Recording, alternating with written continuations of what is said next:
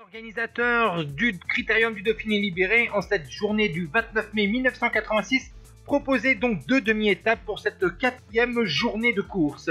Tout d'abord, on est à Saint-Chamond pour le départ, direction l'Isère et Charavine, seulement 100 km au programme, une étape de plaine. Vous avez vu que Vostinet a fait un petit peu le clown au début de cette étape qui va se dérouler à une allure très rapide, une étape animée par le 2SAR32 de la formation Cast Pellier.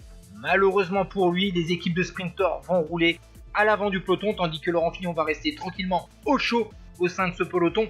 Et donc, malheureusement pour Pellier, il va être pris dans le final par un peloton emmené à vive allure. On voit notamment la formation Peugeot Shell pour Bruno Vostinek.